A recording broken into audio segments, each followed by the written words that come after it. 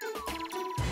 What does a cow have in common with a compass needle? The answer is that both of them know the orientation of the Earth's magnetic field. No, this isn't crackpot science. In 2008, the prestigious journal The Proceedings of the National Academy of Sciences USA published research documenting how cows grazing in a field have a tendency to align themselves with the Earth's magnetic field. And this phenomenon isn't just limited to cows. Many animals, including deer, birds, turtles, bats, and even some bacteria, can sense the Earth's magnetic field for alignment or navigation. The fact that so many living things have this ability is rather ironic, considering that the famous evolutionist J.B.S. Haldane once said that evolution couldn't produce magnets. Just as man-made magnetic compasses are the product of forethought and design, so too the magnetic sensing in animals points to an intelligent designer.